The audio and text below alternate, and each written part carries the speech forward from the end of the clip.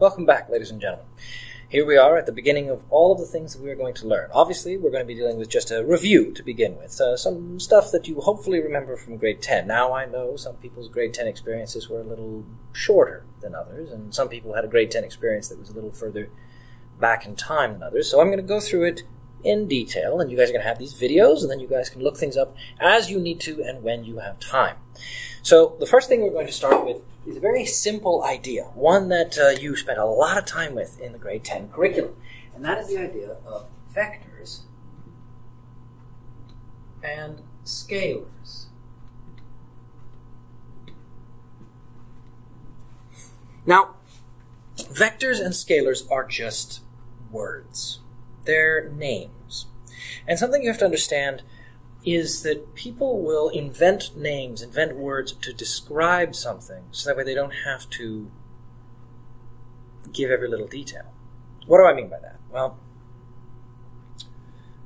an example here. Normally, if you guys were in class, I would say something to the effect of how many people here have done any construction or carpentry or anything to do with wood? And I would ask people, okay, if all the people put their hands up, if I were to tell you to go and get me a Phillips screwdriver, could you do it? And a bunch of people would generally say, probably. A bunch of other people would say, huh? Because they don't know what a Phillips screwdriver is. A Phillips screwdriver is the one that when you look at the end, you see an X. This is different from, say, a Robertson screwdriver, which looks like a square when you look at the end. And there you go, you just learned some things about construction. So the reason why these names exist is because it very quickly tells somebody information so long as they know the words get me a Phillips screwdriver is a lot faster to say on a construction site than get me a screwdriver that looks like an X. Get me a Robertson is a lot faster than get me a square. Or I should say, it's a lot clearer because there are other things on a construction site called a square. Anyway, vectors and scalars are the same thing. They are a name that means something specific in physics, and provided you know what the word means, everything else follows instantly. But if you don't know, it makes things difficult. Now, remember, you guys have all of your notes located online in the drive. So I'll go over them, but I'm not necessarily going to recopy absolutely every component. Because you can just look them up yourself or print them if you'd like. So, to review here, right, the first one is going to be a vector. Now, a vector has something very important, and we call that something, in blue here, we're going to call it magnitude. Now, magnitude is another big fancy sounding word. If you were in math class, you may remember magnitude. Magnitude ends up basically meaning a number. So I'm going to put that underneath. This is basically a number. But there is more to a vector than just a magnitude. There is also a direction.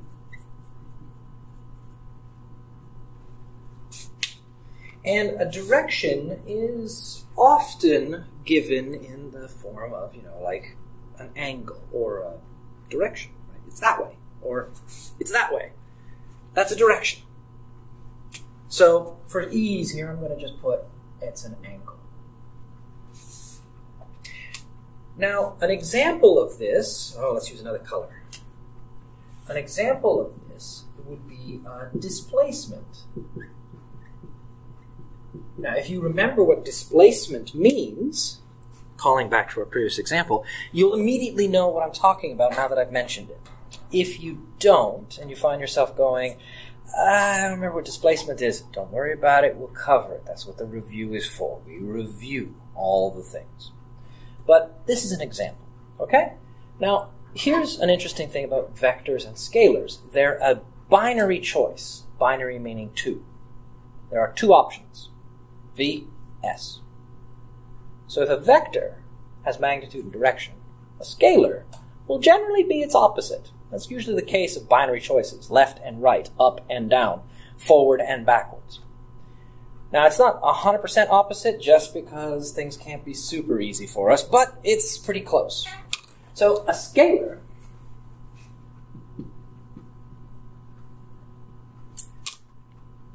has magnitude.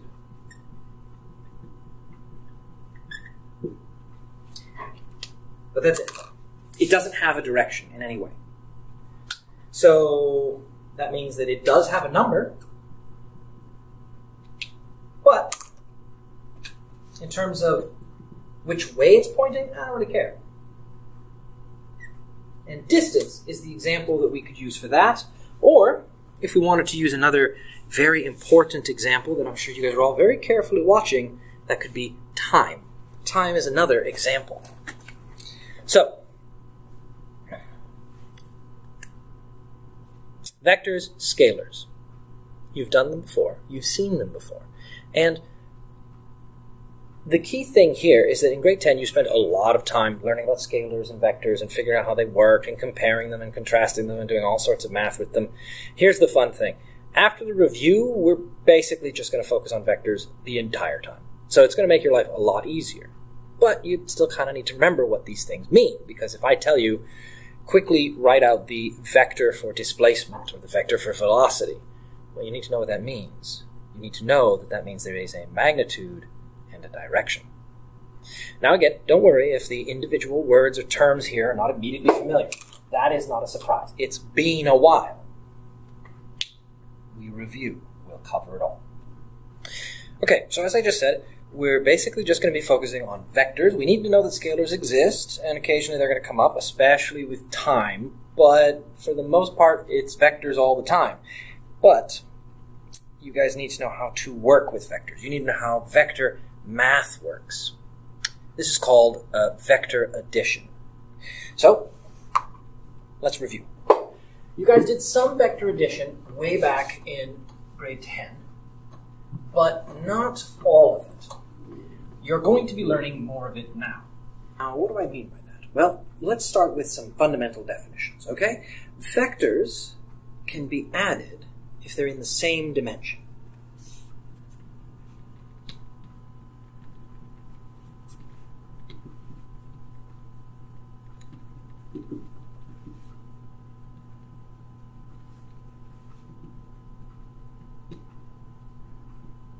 Okay, well, we know what adding means, right? That's the plus sign. Dimension, though. Hmm. Dimension might be a little bit trickier. So, a dimension is usually showcased with a line. I'll write out the definition. I mean, you can see it in your notes, but I'll write it out, and then we'll talk about it. So, a dimension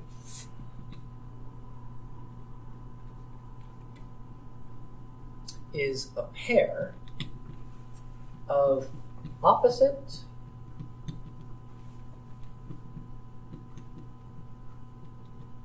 directions.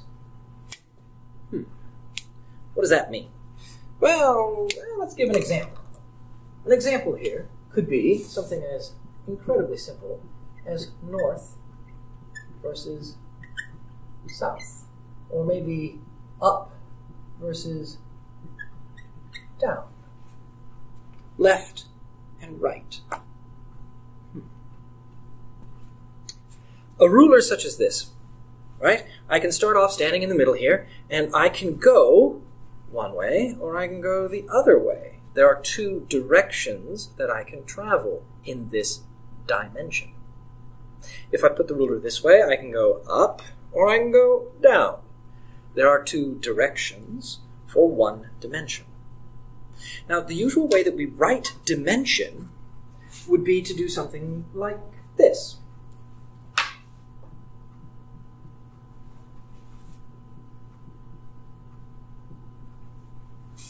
You've probably seen this one if you've gone to the movies. If you've ever gone to a 3D movie, 3D stands for dimensions, three dimensions. Well, what happens at a 3D movie, right? You're at the movie, you're watching the screen. Here's our wonderful screen where the physics movie is being played. And in a 3D movie, you will have a three total dimensions. Well, that should be pretty straightforward, right? You've got the left right dimension, you've got the up down dimension, and you've got the toward the audience, away from the audience dimension. That's the whole three of the 3D. You've got parts of the film, parts of the movie that come out towards you from the screen. It's supposed to be a big uh, draw to the audience. So 3D stands for three dimensions, and you live in a three dimensional world, right? Because I'm hoping you're not some kind of paper person that can hang out on walls, in which case that's kind of cool, but unlikely. So you exist in 3D because you can move in three different directions. I can go forward or backward, left or right, up or down. That is three dimensions.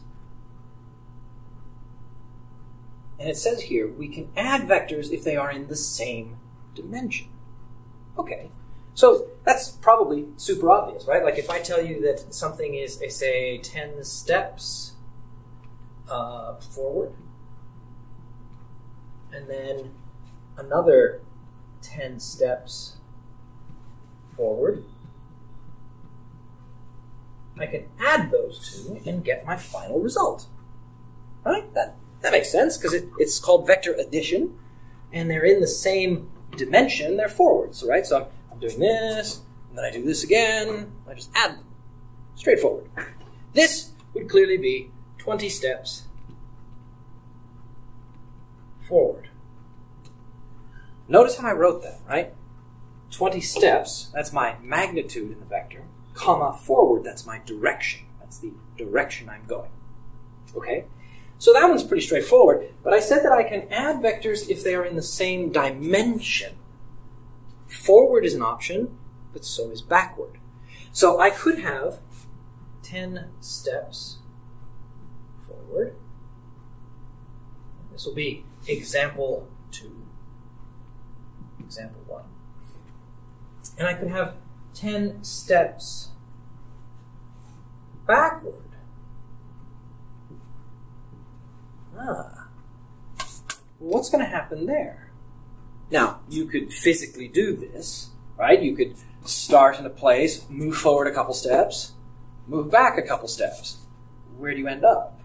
Well, back where you started.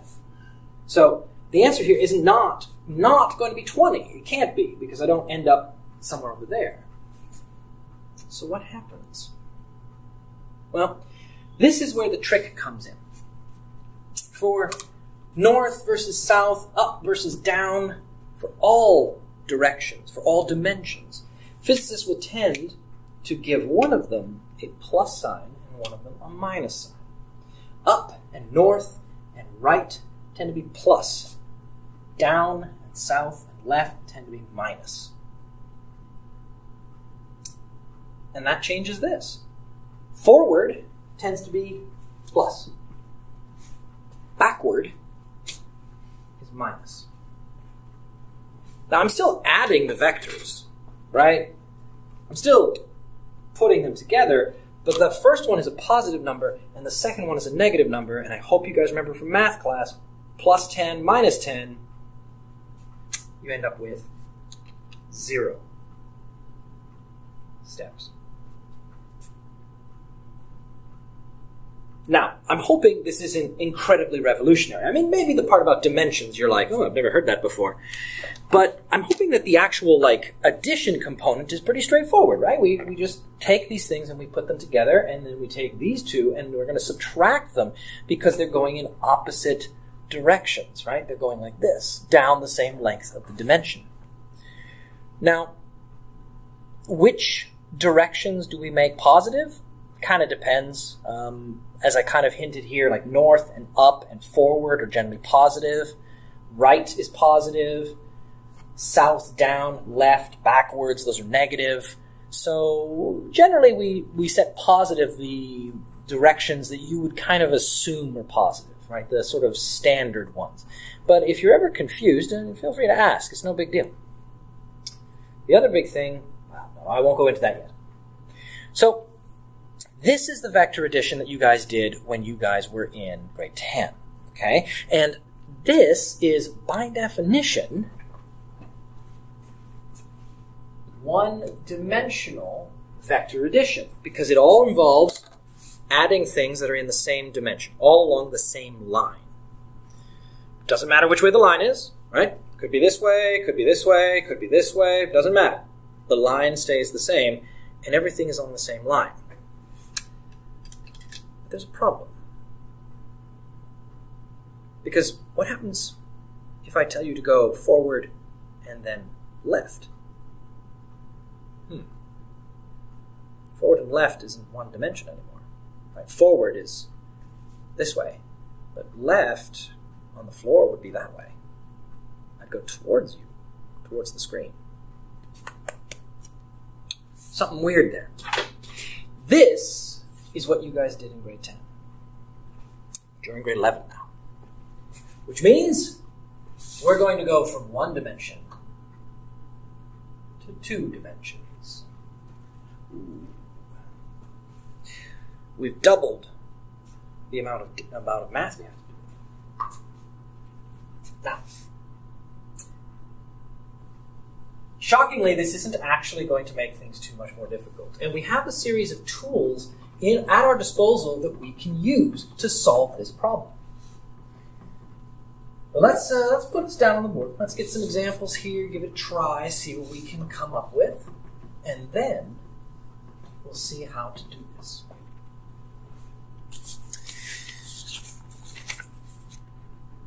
So, as a bit of an example here, right? I'm going to use a boat. Maybe some of you guys managed to spend some time going canoeing or sailing during the summer. Maybe not, but I'm going to use a boat. So the boat is going to sail north.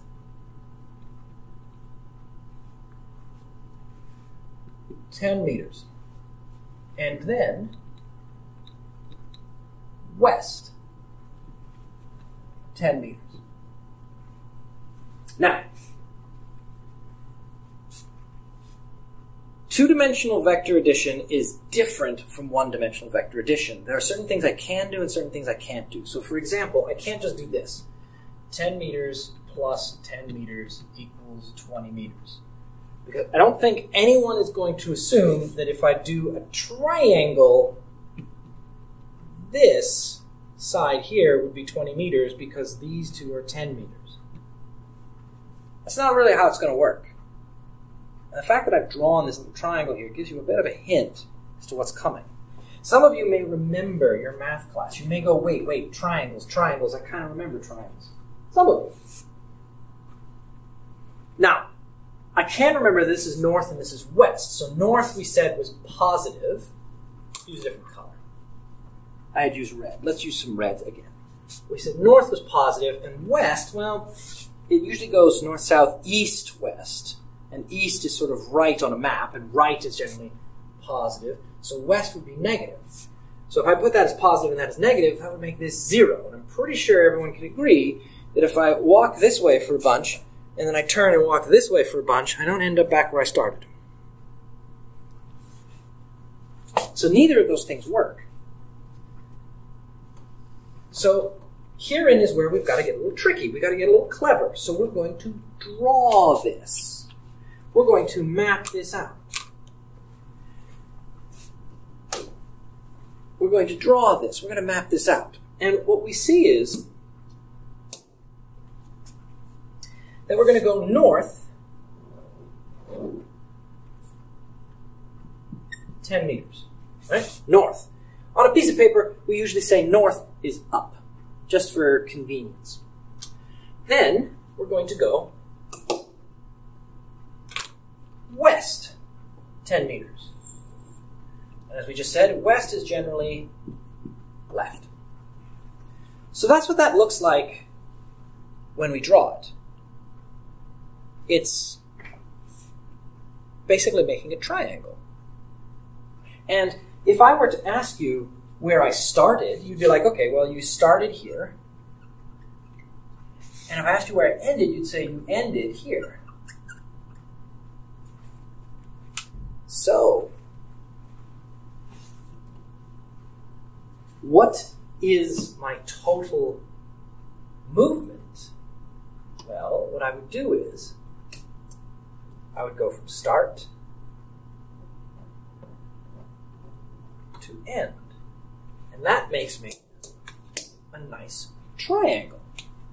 And not just any triangle. That gives me a right triangle. A triangle where this over here is 90 degrees. Now, in math class, when you guys were confronted with triangles, right triangles, what do you do? You have two legs of a right triangle. There's a formula that lets you solve for the missing side, for in this case the hypotenuse, the longest side. What was that formula? How does it work? Can we remember? Hopefully. The formula in question is Pythagoras.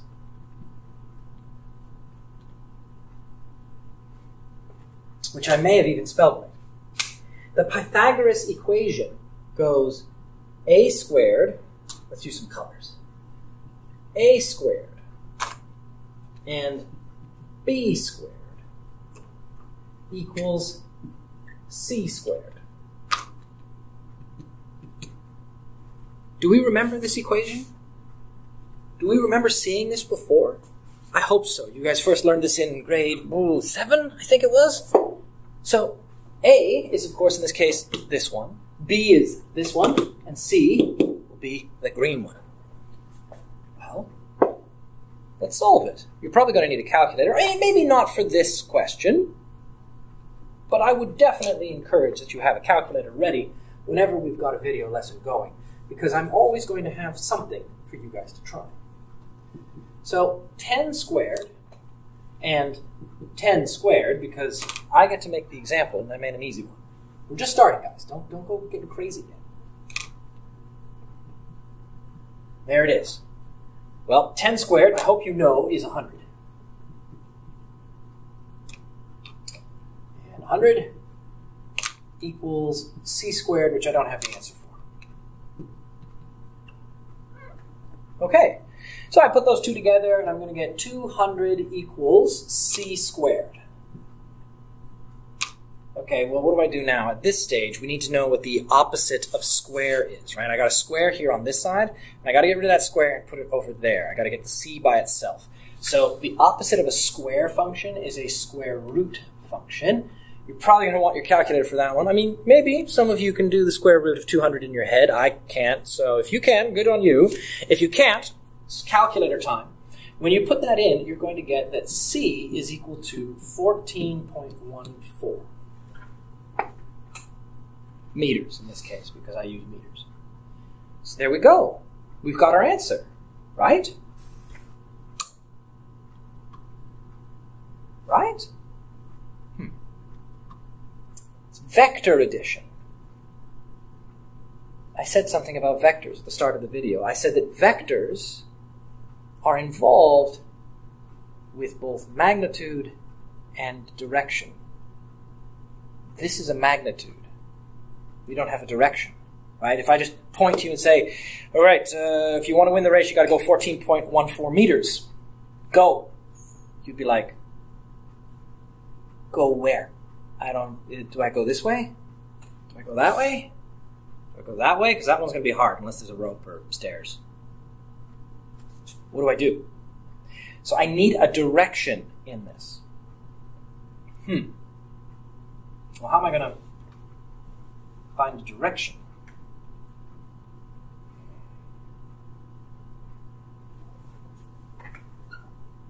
The green arrow, it's 14.14 meters.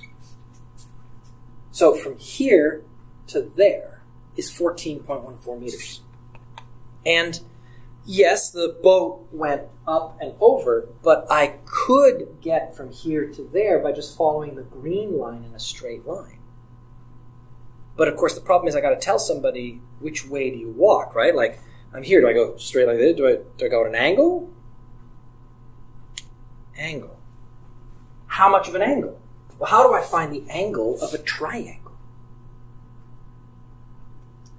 Trigonometry trying to find the angle down here is going to involve trig.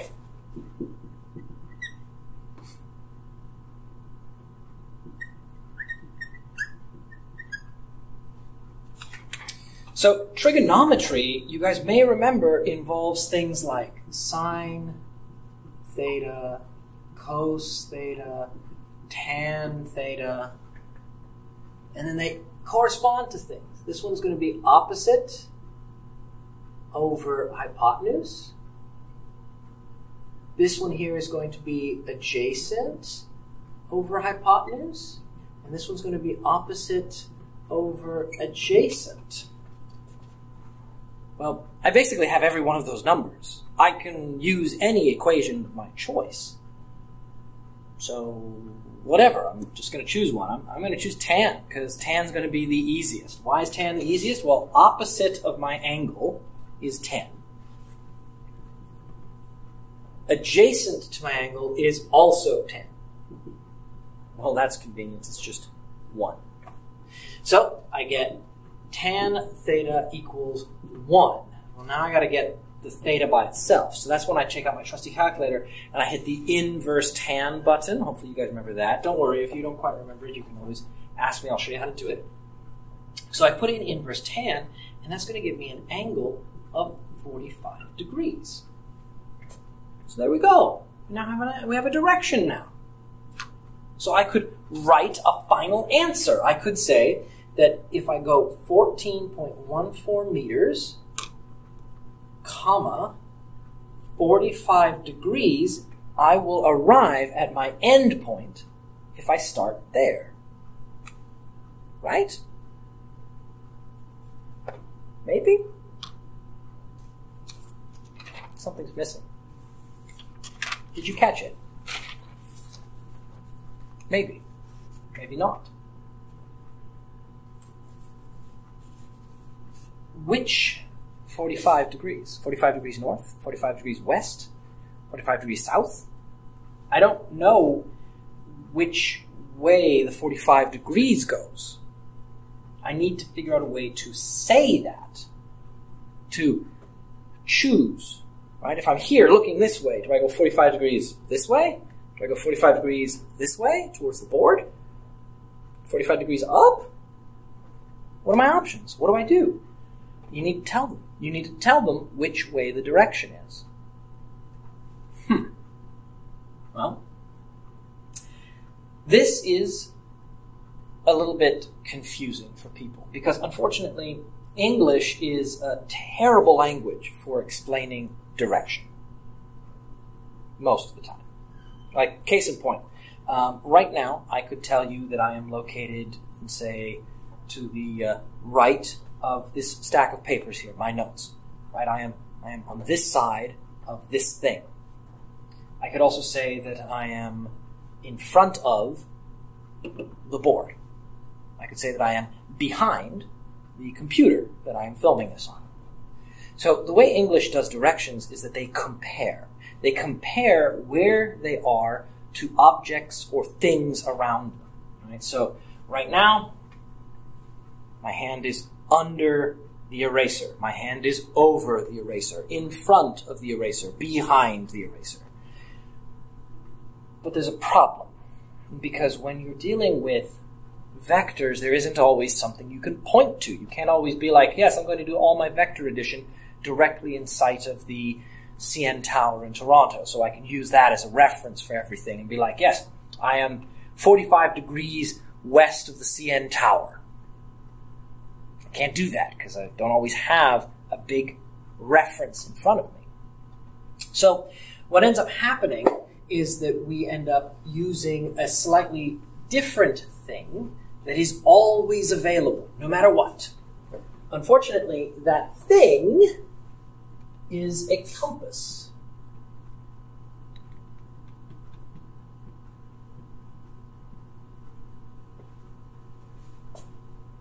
That's a compass, or a compass rose, depending on how you want to look at it. So,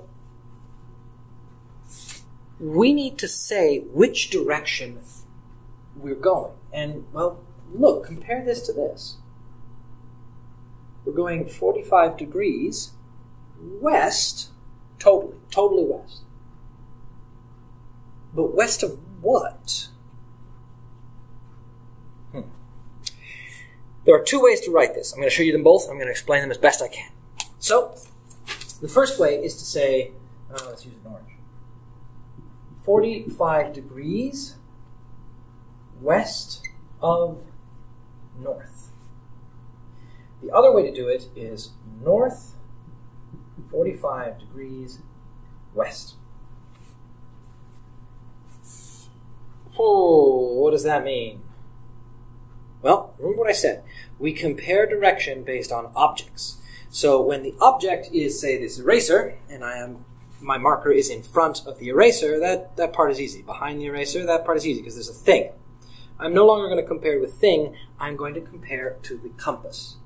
So I am going to say that I am 45 degrees west of the north line of the compass. So I started off here on the north line of the compass, just like so. And then I'm going to go 45 degrees west of that, like this. And that is what it's trying to tell you.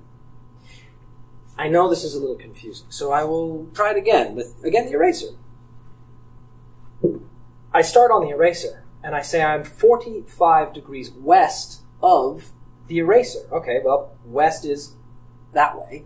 So I will be 45 degrees west of the eraser that I'm using as my example. So, if I, of course, remove the eraser and instead replace it with a line, I am now 45 degrees west of the line. If I make that line the north line of the compass, I am 45 degrees west of the north line of the compass and then we shorten that to we are 45 degrees west of north. I know. I know. English is bad at explaining directions. it's just the way it is. English relies on the ability to compare. And when you're comparing to a direction, it sounds weird. Because in our everyday life, we don't really do that. In our everyday life, we compare two things, right? I am in front of this counter. I am under the ceiling. I don't usually compare. I am west of the north direction. That's a little weird, but it's what physicists do because the compass directions are always there. Doesn't matter if we're on Earth or if we're in space or if we're in the center of the planet or zipping around Saturn or anything. The compass is always there. So, another way that you can describe this is if I get a little bit of space here, it tells us in our notes, so you can look at it there as well, of course, but it says that this is sort of starting along the north line, and then we sweep west 45 degrees. Cool. So, what's with this? Because this looks completely different. Well, this is actually telling you the same thing. It's telling you in a different way, though. Some of the textbooks will use this. Not that you always use a textbook, but some of them do. So this means that you're going to start north, and then you're going to go 45 degrees. Which way? West. So this is a way to write out the same thing, but this is written in a mathematical way. This is written in a way of English, right? Because again, English we tend to compare. So west of north, we are in front of the whiteboard. We are under the ceiling, below the ceiling. So west of the north line is how this would be said in English. North is my start, 45 degrees west is my end. So that's just a way to do it in a more mathematical way rather than an English way. So I start by going north, and then from here I sweep west. Boom, done. And this dis- angle here has got to be 45.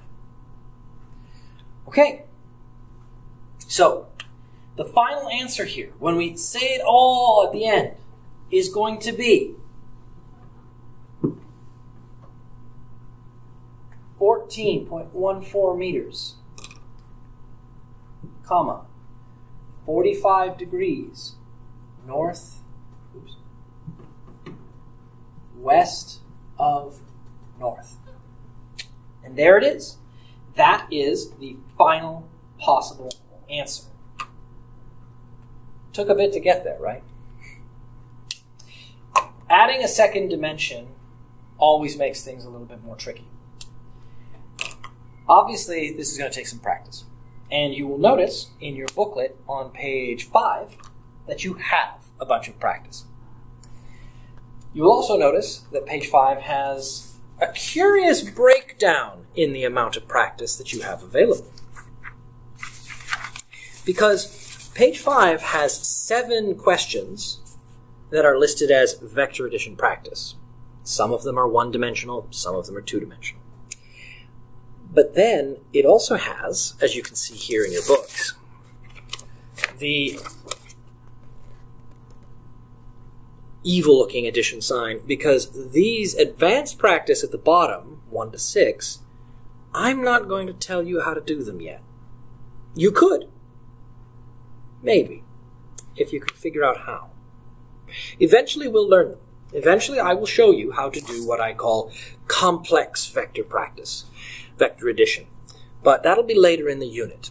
Right now, I just want you guys to practice this stuff. Now, I know it looks like a lot, but like break it down, okay? It's Pythagoras, which you learned in grade 7, it's trigonometry, which you learned in grade 7 or 8, and then it's being able to describe things in their direction based on English, which you've learned how to do since you were a tiny child for some of you. Individually, the pieces are not hard. Putting them together is the challenge. So, be careful. And that's all you need to do. You will notice that during the course of me writing this stuff down, I wrote down everything. I will do that even when I'm working on problems. You're going to want to write things down. Keeping organized is very important for what you're doing. If you get off tangent or you get lost, or if you get your numbers crossed, things are going to go badly. So make sure that you keep yourself organized. That's about it. You guys can give these a try on page five. Later on, we will do some other stuff dealing with some review of different types of vectors and scalars that you guys learned about last year. Um, you'll notice that page six of your book has got a bunch of just general algebra practice and mathematical practice. It's optional in case you're feeling that you need a little bit more uh, practice, a little more review. And it's been a long summer, we forget things. And that's about it. So I will see you guys next time.